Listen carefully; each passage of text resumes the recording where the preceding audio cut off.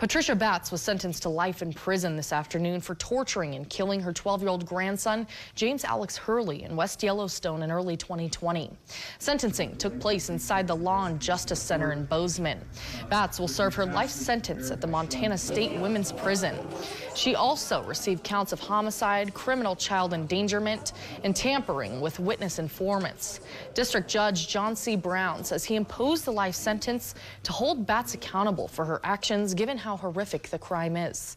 Batts will also have to pay $500 for Alex's funeral service and will work with programs to help her mental health.